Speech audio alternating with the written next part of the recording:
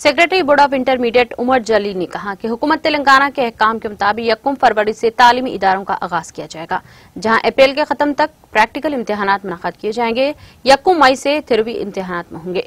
उन्होंने कहा कि फ़िलहाल तालीमी इदारों में कोरोना से मुतक मुस्बित केसेस नहीं पाए गए हैं।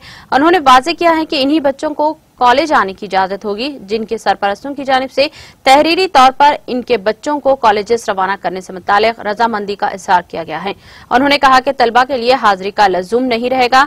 अगर तलबा फ़ीस की अदायगी कर चुके हैं तो घरों पर भी स्टडी कर सकते हैं और रास्त इम्तिहान में शरीक कर सकते हैं। उन्होंने कहा कि कॉलेजेस में 50 था 60 फ़ीसद तलबा की हाजिरी दर्ज की जा रही है। एक सवाल के जवाब में उमर जली ने कहा कि हुकूमत की जानब से कॉलेजेस के सिलसिले में कोई रहनुमाना हिदायत जारी नहीं की गई है। ताहम हुकूमत के फैसले के बाद अहम पाबंद हों। हुकूमत तेलंगाना की जानब से अहकाम के मुताबिक हमने कॉलेजेस को पहली फरवरी से शुरू किया है और ये अप्रैल के एंड तक चलेंगे। इस बीच में प्रैक्टिकल एग्ज़ाम एथिक्स और वैल्यूज़ ह्यूमन वैल्यूज़ वगैरह, तमाम चीज़ें इम्तहान लिए जाएँगे प्रैक्टिकल इम्तहान लिए जाएँगे। फिर फ़र्स्ट मे से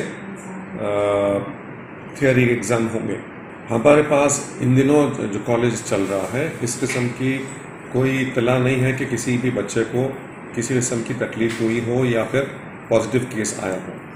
दूसरी बात यह कि कॉलेजेस जो शुरू किए गए हैं, वहाँ पर पूरी एहतियाती तदाबीर की जा रही हैं और उन्हीं बच्चों को कॉलेज में आने की इजाज़त है, जिनके वालदेन ने उनको लिखित रूप में उनको इजाज़त दी है। यानी अटेंडेंस कंपलसरी नहीं है। बच्चे अगर फ़ीस दे दें एग्ज़ाम फ़ीस अदा कर दें तो डायरेक्टली आके इम्तहान लिख सकते हैं। ज़बरदस्ती नहीं है। और हमारे पास तकरीबन 50 से 60 फ़ीसद अटेंडेंस आ रही है और कॉलेजेस चल रहे हैं। और रही बात हालात के पेश नज़र, हुकूमत जो भी फैसला करेगी, हम बोर्ड उसको फॉलो करेगा।